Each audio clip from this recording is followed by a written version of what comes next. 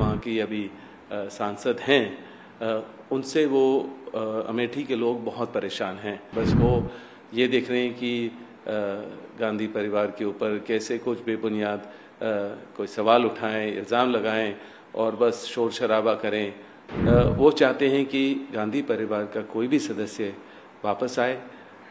वहाँ वो भारी बहुमत से जिताएँगे। मैं वहाँ अपना पहला कदम अगर राजनीति में रखता हूँ और सांसद बनने की सोचता हूँ तो मैं अमेठी को ही रिप्रेजेंट करूँ। मैं पहले तो अमेठी के लोगों को और रायबरेली के लोगों को ज़रूर देखूँ चाहूँगा कि कोई भी उनको रिप्रेजेंट करे जो भी वहाँ का सांसद हो, वो उनकी प्रगति की बात करें उनके अच्छाई की बात करें और सुरक्षा की बात करें और भेदभाव की राजनीति ना करें, क्योंकि जो वहाँ की अभी सांसद हैं उनसे वो अमेठी के लोग बहुत परेशान हैं।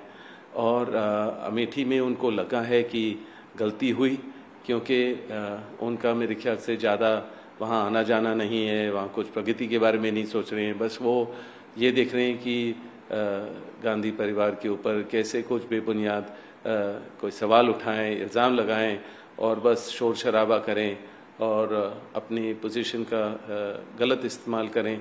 तो मैं देखता हूँ कि ज़्यादातर वो उसी में लगी हुई हैं और क्योंकि बरसों से गांधी परिवार ने अमेठी, रायबरेली, सुल्तानपुर, जगदीशपुर सारे एरिया में मेहनत से काम किया लोगों के लिए वहाँ बहुत ही प्रगति हुई।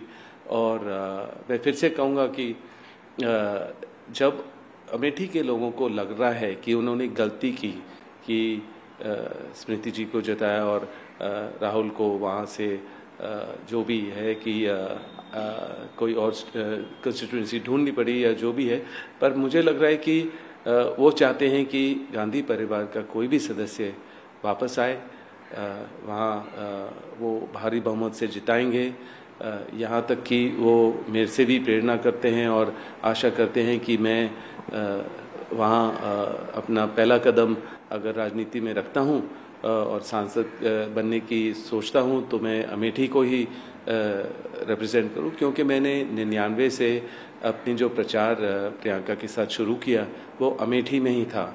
और वो उस समय की तो राजनीति और पॉलिटिक्स बहुत अलग थी, क्योंकि वहाँ संजय सिंह थे और वहाँ का दहशत फैलाई हुई थी और हम लोग रात भर संवेदनशील एरियाज़ में होते थे और वहाँ पोस्टर लगाए और बस्ते बांटे और अपने कार्यकर्ता के साथ दिन भर, रात भर मेहनत की।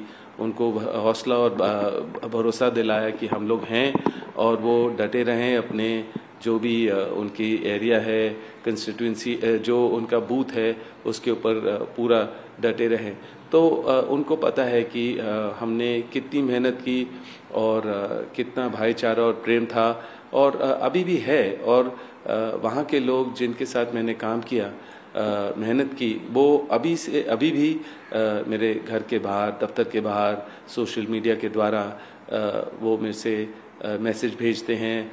मेरे जन्मदिन पर वो केक काटते हैं और लोगों को कोई कुछ न कुछ लंगर वगैरह या सेवा करते हैं, क्योंकि उनको पता है वही चीज़ मुझे पसंद है क्योंकि देश भर में लोग देखते हैं कि मैं लोगों के बीच में रहता हूँ और विकलांग लोगों को और अंधे बच्चों के साथ जितनी मेहनत मैं कर सकता हूँ और जो भी चैरिटी में पूरे समय अपना निकालता हूँ और मेरा धार्मिक दौरा होता है।